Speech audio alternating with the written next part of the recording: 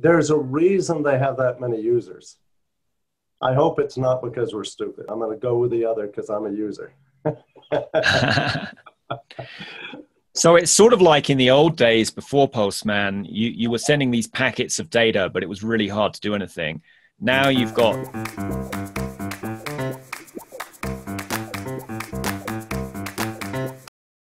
Welcome back to the show. Today we're looking at Agile ColdFusion API development using the amazing Postman and some uh, behavioral driven development secrets and ColdBox with John Farrar. And he's going to be talking on this at Into the Box in a few weeks' time. And we'll look at why you should be use, building APIs in ColdFusion and why, in particular, you should be using the Postman and ColdBox for doing that and we'll look in detail at what cool things you can get with Postman, either in the free version or the paid version. So actually, you can get a long way with the uh, paid, the free version, and we'll also look at agile development and why you should be doing that. So, welcome, John. Thank you. Good to be here. And in case you don't know, John has been in the ColdFusion community for millennia, I think, or possibly 20 years, one or the other. Two centuries at least to you cross the, the other century and he's he's been involved with uh, jquery and knockout and vue libraries and he wrote a Cold Fusion framework which we'll talk about a little bit later. So first of all what let's talk about apis why should people listening be building their apis using Cold Fusion? well one of the reasons is it works it's a lot of things we do. We jump in, we don't even know if it's going to work, and we find out there, there's all these, ah, I wish I would have known. But in particularly when using cold fusion and ColdBox, that technology is there. ColdFusion, in fact, has some API stuff in it, or Lucee, that's both variations. But ColdBox adds a real mature system in. And when I talk about that in particular, wait till you guys see if you haven't started messing with it. ColdBox 5 should be out for the show, and it has some nice enhancements along the API line. Yeah, I hope that's going to be announced and uh, before the Into the Box show. Um, a lot of cool things in there. So you decided you're going to build an API. Wait, let's back up a minute. Why, why do you want to have an API in your application to start with? Wait, what's the reason for doing this? Well, historically, when we started building apps, that what we did when we wrote applications is you packaged everything into one box. And over time, you know, things they say the only constant is change, so it may go back to that. It's not where we are right now but what we tend to do is your data connector is your API. It's where, and your business logic is validated on the API. But your actual application in most web applications is actually pulled right out, and all the stuff you look at, all the validation that happens immediately in the browser, that's a separate application. And that's why we've started migrating from where I used to use a lot of jQuery to where we're using stuff like Vue or uh, you're using Angular or you're using React, they should stay around in spite of their uh, privacy issues, but we'll see. For those of you who have missed all the Facebook fame, that's where React comes from. But they're all great frameworks. And but uh, jQuery was mainly it made your DOM and all the stuff you sent to the browser, jQuery manipulated that and made it work. When you pull that out as a completely separate piece, jQuery isn't written to do that. When they're together, jQuery is still extremely viable. You still have the option of using Vue or Angular, but it's still viable. But when you separate them out, you really want to go to one of the modern frameworks. Your API is that back end that's communicating with it. And an API, when you're building it, you're either doing that for part of your app or for the whole app because you've completely separated the two. And, it's funny, when we talk about object oriented programming, one of the main things that people have said that has lasted is you want to separate stuff out so it's focused on what it does. And an API does that. You're separating that to be that piece. And your front end that's interacting with a customer, they're doing that. And where I work, we basically have four teams. We have the database person, my day job. We have the API developers. We have a team of them. We have a matching team of UI developers. They're using Angular. I got there too late to push in the Vue. That's their loss. and then we have the QA team. And they're there to just shake their heads at how many times they have to get us to do something right. So, so is this part of the microservices movement or? API isn't microservices, although you can do something very similar to that. API is usually more of a package service where you're getting all the pieces together. And although there, there is the rolling, always wanting to clarify that this is not a microservice. When people use something like Docker, which is a containerized service, we're considering going that way also you can actually package each of, each of these pieces separately. And they still work together fine. And when you do that, it's nice because when they scale, then you can scale just the parts you want. So, because generally your front end UI doesn't carry the same type of load that an API would. That makes a lot of sense. So let's talk about why you picked ColdBox for this, because I, I know ColdBox. You you wrote a framework yourself, uh, right. co-op, I think it was called. Yes. Why didn't you use that? Why are you using ColdBox to ask when a, I, when I created a direct question? when I created co-op, it was referring to collaboration, cooperative. And what I did is I wrote a framework where I could use Cold Fusion's custom tags and they would render that front end UI. So as we started splitting these pieces up, and that type of development is becoming more and more scarce, the win that I was providing is no longer the win that gives us the biggest win. So it's still a win if you wanted to do that, but I'm actually recommend people learn something like Vue and split that out.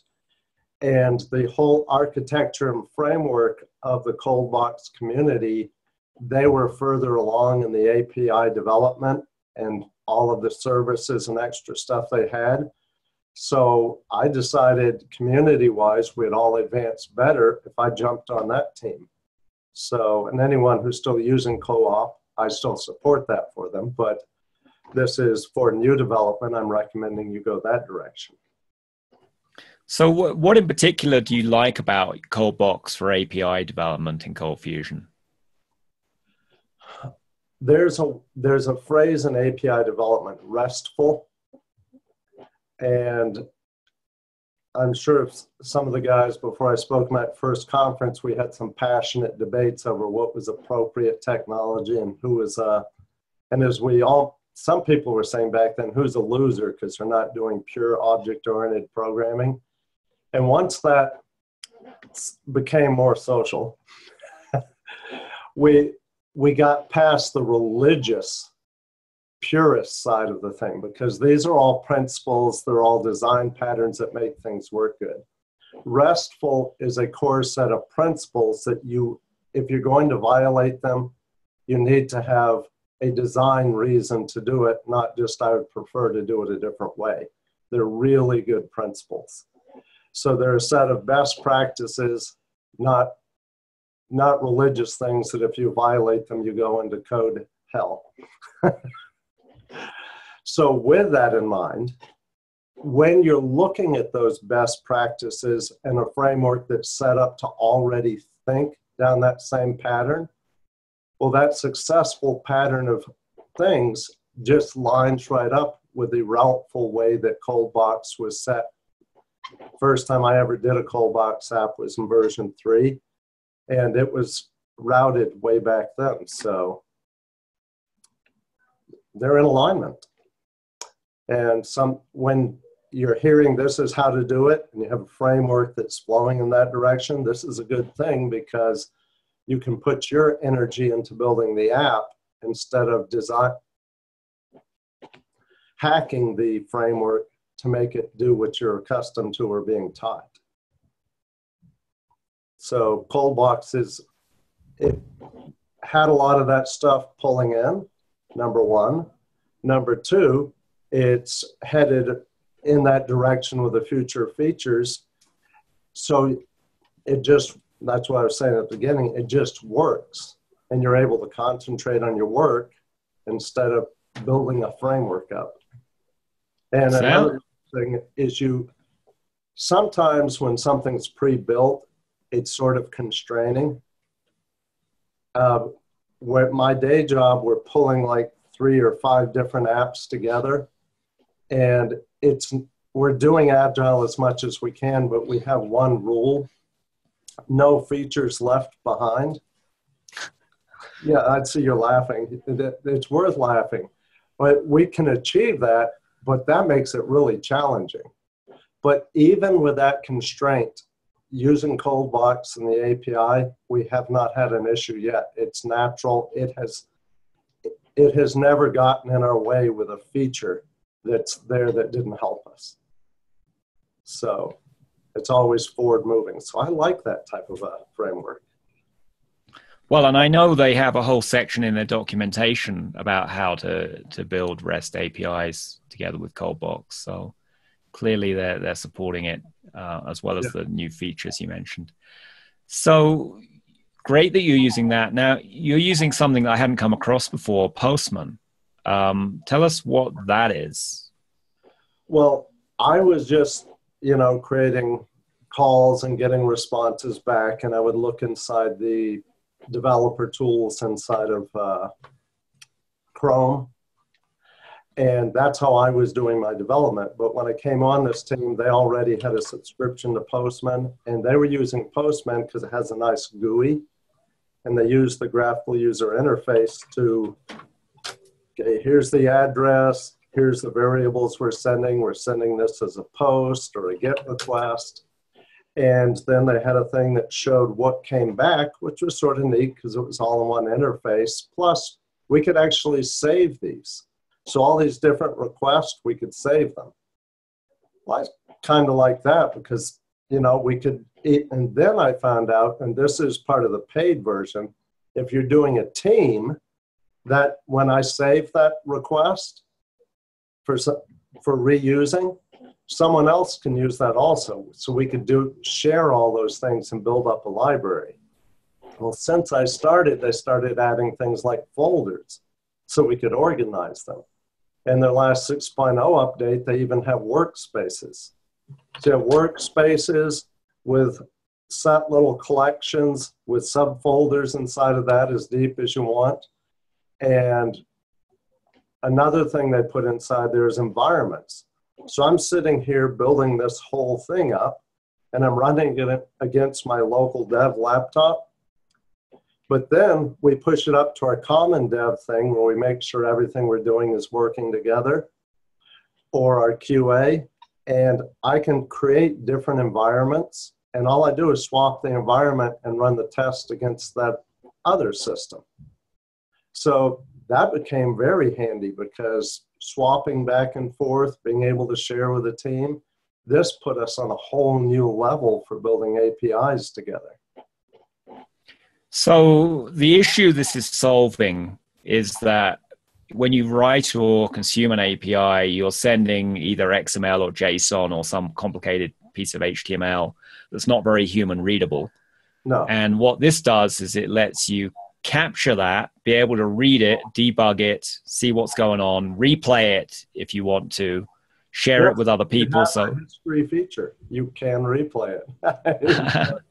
so that they added that too and that's part as i've got into postman that they're only I, I don't know if they started in 2012 or 2014 but they do such a good job they have over 3 million users wow that there's a reason they have that many users I hope it's not because we're stupid. I'm going to go with the other because I'm a user. so it's sort of like in the old days before Postman, you, you were sending these packets of data, but it was really hard to do anything. Now you've got sort of like this postman, he grabs your letter or your packet of, of data and then he opens it up, makes it all readable, st- stores away a copy for you, organizes it, even lets you redeliver the same packets over and over again. Right. Um, or you can fake out dummy addresses to send, you know, to test your API against and right. see what's going on. Well, not only is it readable, but they, they have three views as far as what comes back from the browser. They have pretty, so it'll take your XML or your JSON and stack it in there so it looks nice.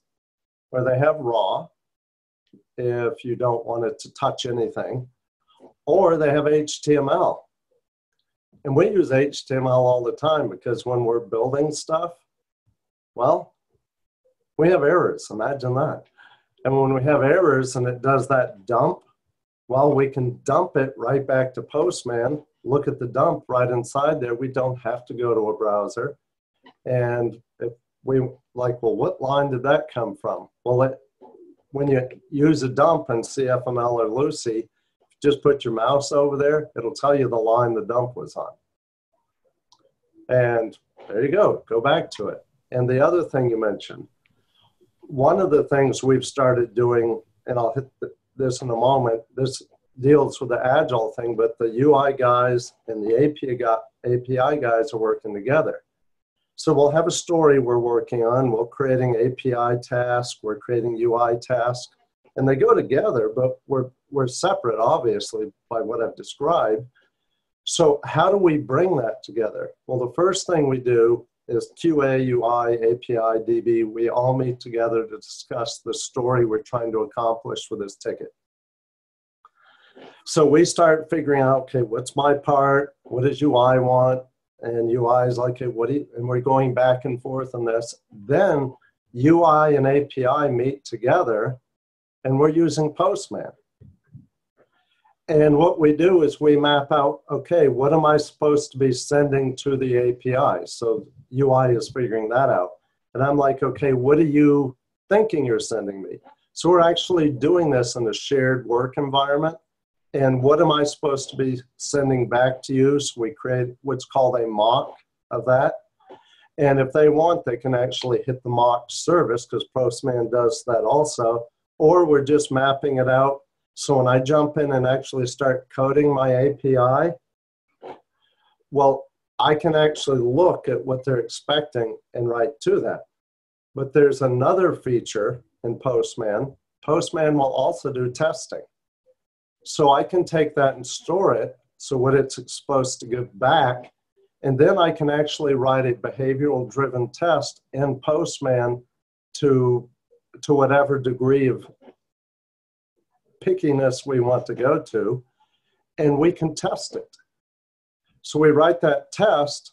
And then when I start writing my code, I can pre write my unit test. I'm doing test driven development style. I still do BDD, but but we pre-write the test and I pre-write the test in Postman. Now, yes, of course, sometimes the tests get modified, but I've got a basic test to know this is what's going in, this is what's coming out, a test to validate all this stuff. And I've got that before we even start coding. And they, the UI guy loves that too because he knows what to expect. He's coding, this is what I'm expecting back this is what I'm supposed to be sending you. And with me, it's the opposite order. Okay, this is what you're sending me, this is what you expect back. And we have that standard right out the gate. So Postman is basically like turning the light on in a phase of development that's usually kind of uh, murky. so you you can fake out both sides of that. You can fake out you as the Cold Fusion developer sending that API and making sure you've got it formatted correctly in Postman.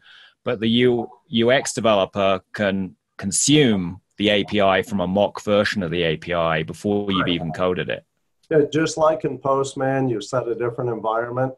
All you have to do is in the UI, they just have a, have something that they toggle and flip the switch so it knows for this feature, aim this at the mock server. And obviously, it's, it's going to be statically mocked, not dynamic. But, you know, is it a 200 request? Is it a 404 request because nothing responded? 409, it wasn't authorized. All those standard things that are part of RESTful services, it covers it. Well, that sounds like that avoids a whole bunch of bugs and miscommunications between team members. It, it, it reduces, you get to work on the meaningful bugs faster. Any developer who doesn't work on bugs, you can't teach the rest of us anything because we don't program the same. Now, what about when you've got your API live? Do you still use Postman then for monitoring or other reasons? Or well, actually, Postman does have a monitoring service, so you could actually use it for that, just to make sure it's up or whatever type of monitoring your creative benefit solution has. But the, the other side of it is we use this because we keep changing code.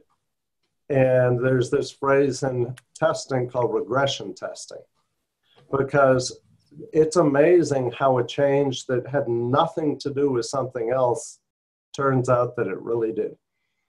And it, you change something over here and it breaks something on the other side you never expected. And another neat thing Postman does is it walks through the test. You can even make the test intelligent. Okay, run this test, and if I get this type of a response back, then run this part of the test next. So the tests aren't just a mechanical thing, it, you can actually build a level of intelligence and flow into your test. So, so you're running a monitor on something like that, that mm. might have a benefit. And and the test also can be taken offline and run with a continuous delivery build type system like Postman, Travis, Circle CI, whatever. And with that, you can move those up. So I write some new code and I don't just run, what we do is we run our unit test local, but then we'll run when we're doing a build push to another server we'll run our Newman test there. And Newman is the name of the JavaScript tool that will run your Postman test. So we, that's what we do our validating. And, you know, just it makes stuff more visible. So, just so I'm clear, you're using some kind of continuous integration tool like Jenkins or Jenkins in our case, but it's it's yeah. not exclusive to that. It'll work. And then every, every time you check in a change in into your source control, it goes off and runs all these tests. Well, uh, we're uh, doing it. I don't know if it's best practice or not, but our our goal is to do it before you merge it back to the master branch. Mm. Because what you have is a master branch, and you go off on a feature branch. So mm-hmm. we're building this new feature, and we have what we call a two-week sprint. And in our two week sprint, we're trying to deliver new features. And we typically are delivering, you know, 12 to 20 new features every two weeks. And those are minor features. We're not building major features, but what that does is it gives us that little slow, continuous win. And let's see. Yeah, I'm going to cheat because I'm listening to an audiobook right now. So I'm going to just look it right up here called Barking Up the Wrong Tree. And when I was listening to it last night, he talked about a lot of times we're biting off too big a piece. And we're like, okay, and it's that concept of what's a BHAG, a big, hairy, audacious goal. And if we set that big goal, we think we're going to win. But what we've learned in agile development, that continuous, ha, I got to win. I made progress. I'm making progress. I'm winning that tends to keep people more engaged. And it's harder to beat someone who's more engaged than someone who isn't.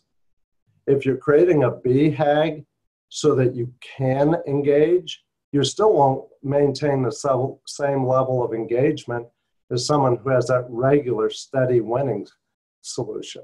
And that's part of what Agile is about. So you, have really embraced agile. Tell us why why you think listeners should be looking at agile uh, for their development life cycle. I say number one, if whatever you're doing is working, it works. I don't say, oh, what we used to do was we were such losers because if you think about that, you know, it's exponential. We were losers. We were losers squared before that. We were losers cubed. No, we weren't because we made products that delivered. So, what I'm looking at with Agile is just a bigger win because the market's getting more competitive. And if you want to be more competitive and stay in the flow, you have to have the bigger win. And I believe Agile actually does that over water flow and some of these other methodologies. In fact, I didn't know really what water flow was until I learned Agile and stopped doing some of the water flow things. It's like, oh, that's what water flow is. It's not bad, it's not losing, but I just, for us, our team is finding a bigger win. So, so, so the traditional uh, long life cycle development is where you do all the requirements up front, and then you go away into a dark cave for six to twelve months, or however long it is, and then come back uh, and show what you've done. Whereas in Agile, every two weeks, you've got new features to show. Correct. And what we actually do, and in fact, they were when I started the podcast here, the rest of the team is showing when you do agile, one of the things you do is you have what we call stakeholders. And our stakeholders, they're the people who are going to be using the software or making money off it. It, it depends on your agile scenario, but they're the ones that will be making the investments. So you get a collection of them, and every two weeks, you're showing them your progress.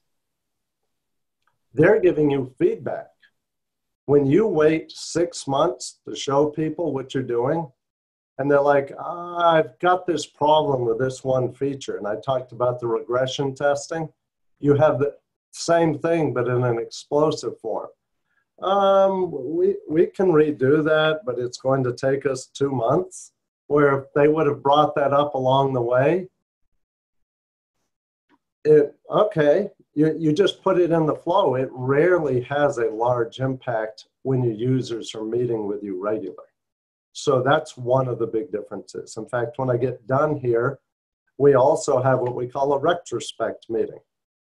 So every two weeks, we get together at the end of our sprint. And when we get together at the end of our sprint, we talk about two things what went well and what could have gone better. And I really like that. That's the attitude and openness that creates is way different. Like, okay, who messed up? You know, you made the whole team look bad.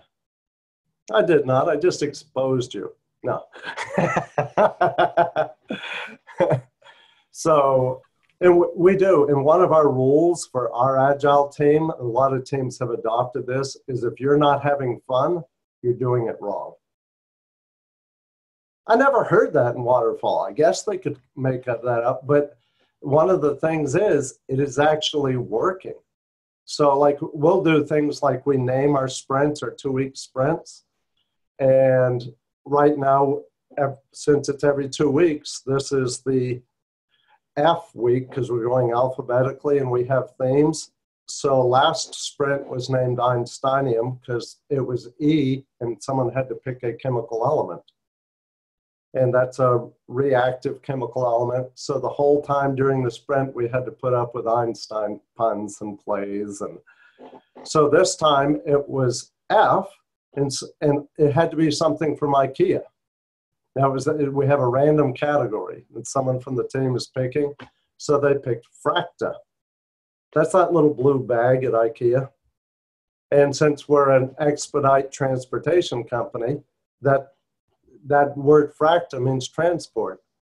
So that it was my turn to destroy the uh, sprint planning meeting, which we have on Wednesday. So I opened up the meeting with a pun I said, okay, I'm going to destroy this one. I've got the first pun. They're like, okay. I says, this sprint is in the bag.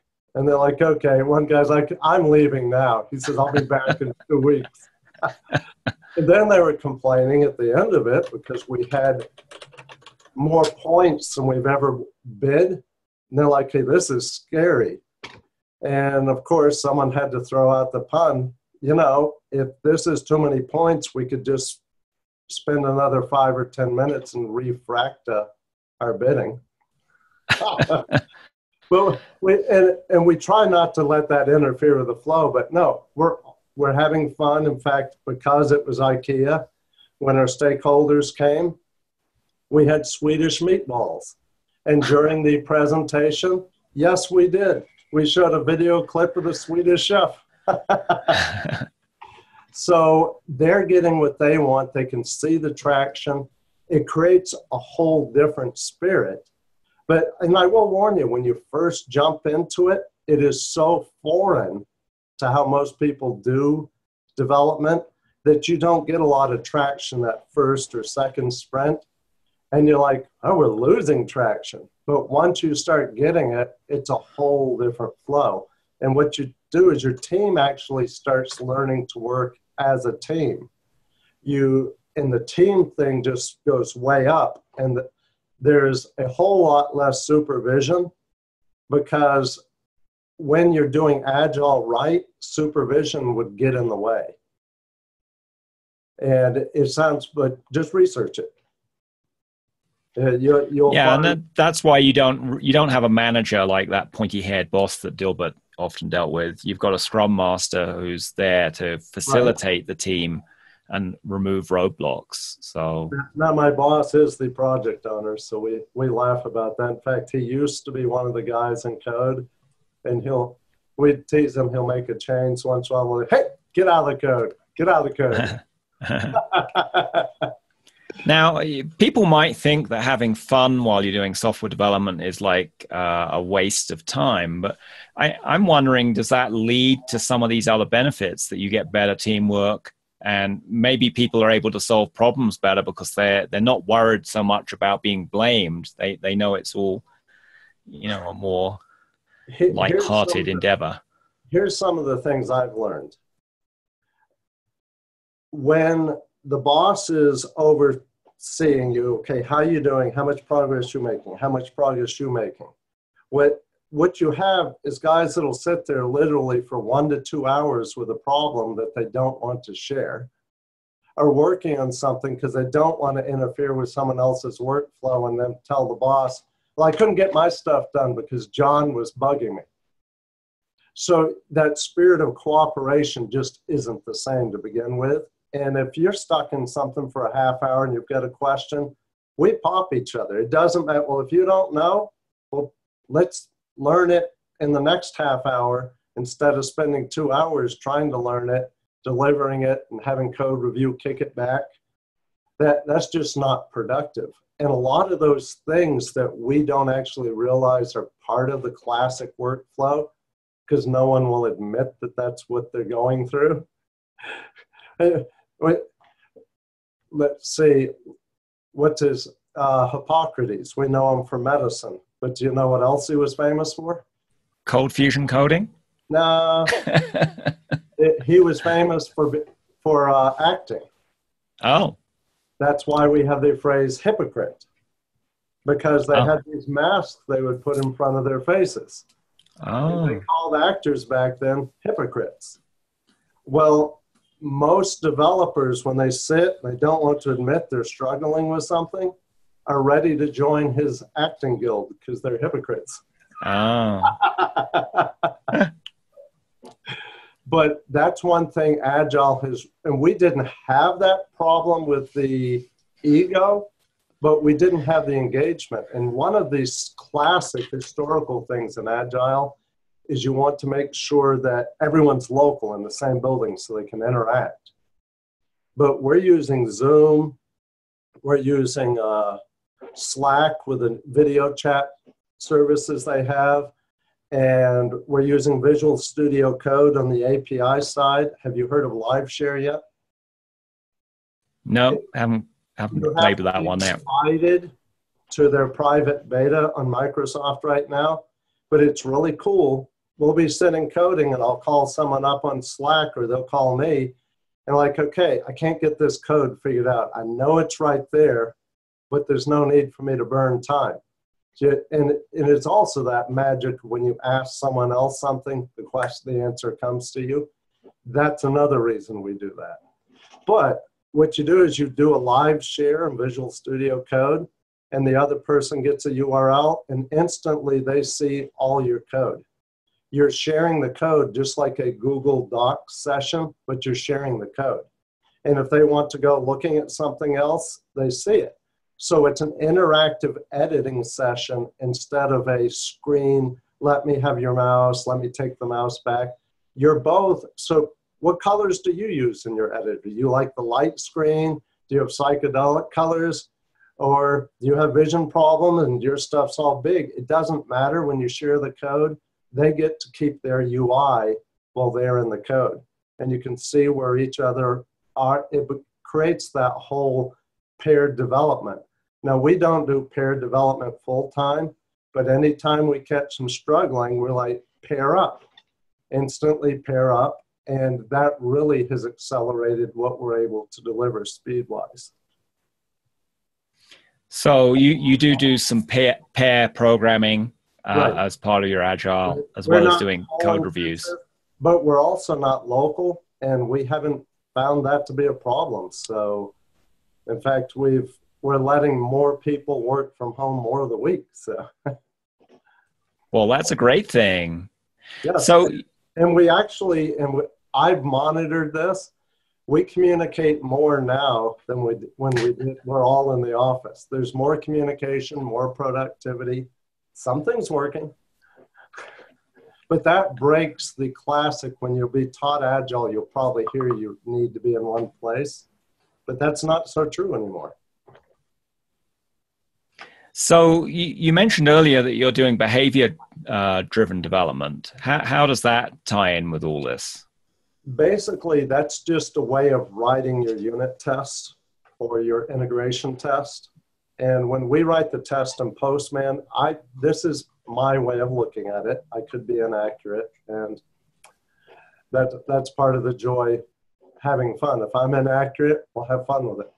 But this is how I look at it. You have unit test, which means nothing outside of this unit can influence or create what we call a flaky test. And you have integration tests. That's when you've got two things working together and you need to make sure they work together. A unit, you mock those things outside it. So when we do our Postman test, that's what I call an end to end integration test.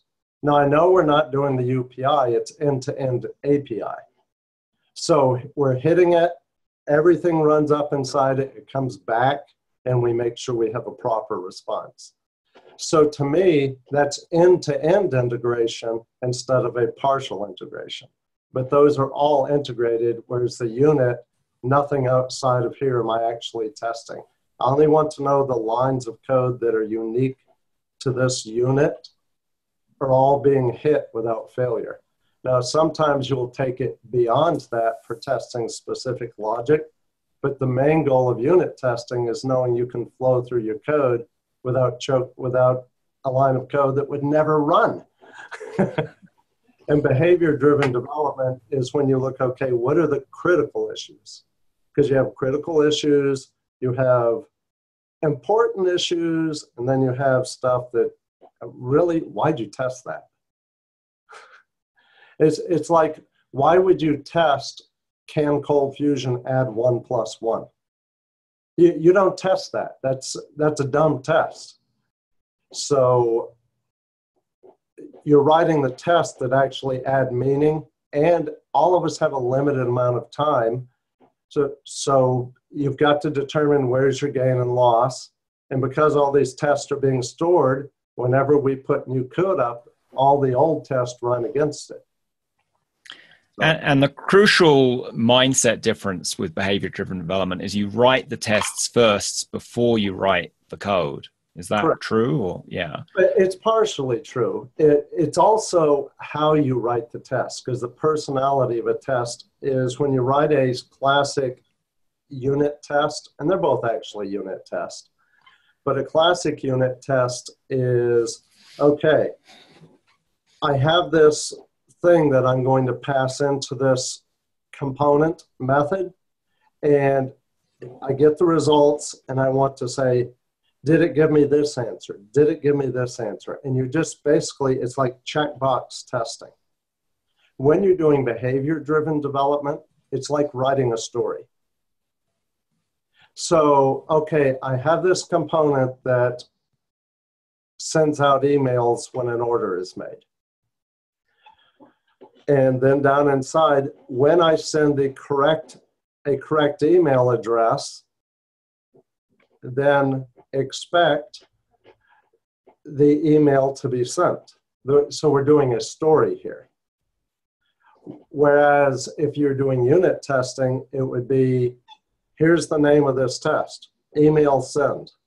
So I call the method and I say assert email was sent. And it's sort of dry. So the reason it's called behavior driven development is because we're talking about the behavior, you're actually writing stories. And there is even an alternate way of doing it that is extremely story oriented. But and TestBox will do both of those versions, uh, which is the testing framework that works with uh, ColdBox APIs.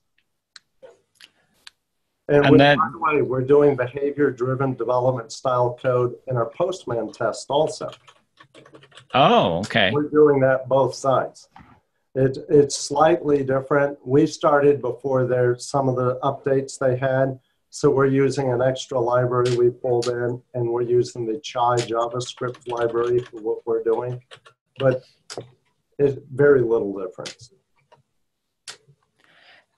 So I hope your talk into the box on all this goes well. It sounds like a really exciting topic. Um, I just want to change gears slightly now and, and ask you why are you proud to program in CFML? Well, it used to be because it's been around so long. In fact, I have what, two sons that have followed in the software development. One of them's doing ColdFusion, and the other's in a renegade technology dot something. Uh, it seems like a dot's the end of a sentence. I don't know why you'd name your technology dot anything, but but he he asked, and I looked it up. And do you know that Java, PHP, and ColdFusion were all created the same year? I, I knew they were pretty much the same age. I didn't know it was exact. Of yes, .NET's a youngster, they're right? All the same age. So apparently, that was a year for durable technologies. Yeah. And one thing is, ColdFusion has stood the test of time. Number one. Number two, I know ColdFusion compiles into Java, but I know a lot of Java developers who have chosen ColdFusion because they don't want to get down into the granular stuff. When, when you write Java, your packaging stuff. ColdFusion has a lot of stuff packaged up already for you, but you can still reach out and add the Java into it if you want to. In fact, ColdBox has a few libraries that it reaches out and does that same thing, including CommandBox. And for a while, I was felt the pull away because all these other guys were getting these package tools, command line tools, and I'm going to give credit here. Brad Wood put together a thing called CommandBox. and we have the same type of thing in our community that they were getting. And it's an absolutely amazing piece of it just changes the whole development. If you if you're in ColdFusion and you haven't tried CommandBox, I'm not at all shame on you. It's okay if you're missing out. But I'd like you to not miss out. You got to try it. It's free. And there is no commercial version. Brad, you should have made money on this. It's good. it, it is amazing. So, um, speaking of prices, that the Postman thing we were talking about, that's yeah. free up to a certain number of users per month, right? Right. It, um, well, actually, it's free for one user. That's that's your number. Yeah. and I will go look. Let's see. I think it's free up to a thousand API calls a month, something like right. that. Right, and that's pretty hard to hit.